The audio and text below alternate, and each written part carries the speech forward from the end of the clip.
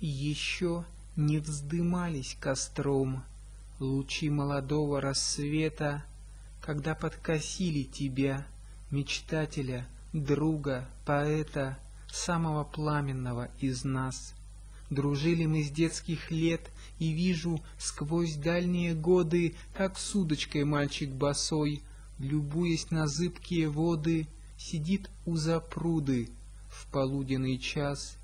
Еще вспоминается мне под манговой кроной густою, Где темная заводь спит в воде, по колено стоя, Ты тянешься к ярким плавучим цветам, Вно вдоль рисовых спелых полей, Ловя ароматы и звуки, бродил ты И вдаль простирал худые мальчишечьи руки, Не знаю, навстречу каким мечтам, Ни разу Тебя не видел я ни с палкою, ни с рогаткой. Садился ты возле кустов и долго следил украдкой, как бабочки кружатся над листвой.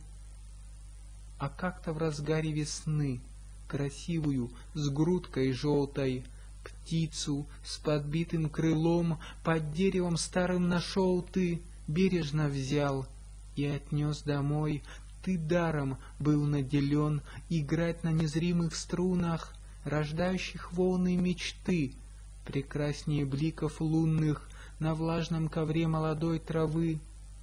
Ты нам говорил не раз, волшебная сила слова, но если слова в душе не вызовут песни новой, они безжизненны и мертвы.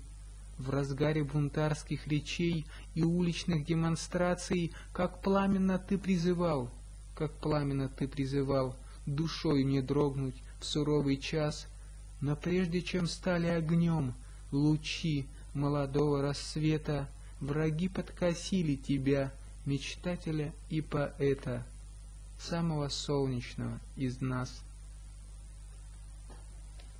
Достаточно грустное стихотворение. Спасибо.